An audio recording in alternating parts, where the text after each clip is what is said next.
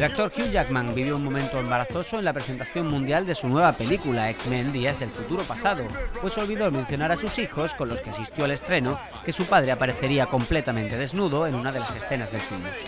El artista ha tenido que trabajar muy duro para conseguir el espectacular aspecto físico que luce en la nueva cinta de los mutantes de Marvel. Aparte del ejercicio físico, tuvo que someterse a una estricta dieta que incluía no beber agua durante las horas previas al rodaje de secuencias de acción, y a causa de la deshidratación que ello le provocaba, el actor casi se desmayó en varias ocasiones.